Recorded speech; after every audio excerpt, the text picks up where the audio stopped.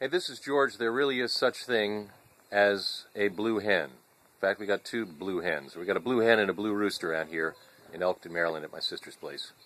There they are, blue hen and blue roo. Have you have you named them, Leslie? I really haven't. So there's no they're they're nameless. One of them's got to be YoUDee, though, right? What's it gonna be? I was saying one of them has to be YoUDee.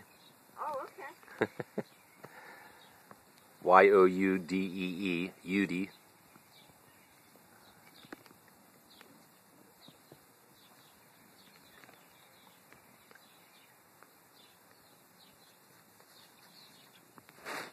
That fighting blue hen spirit.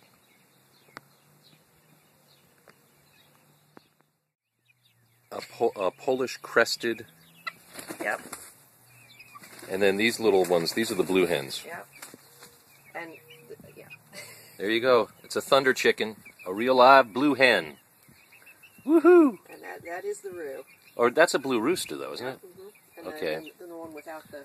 So not a blue hen, but a blue rooster, and then there's the, there's your blue hen on the other side there. Wow. And you thought blue hens were fictional. And this, this business that they're doing is flying at each other with their feet. This is this is the fighting posture. How about that? Couple of blue hens. Now, how long will you keep the rooster? They've already started to crow. Oh, They're a little small to eat right now, and the the main thing is I want to keep them long enough because right now, if if the little girl was in with these.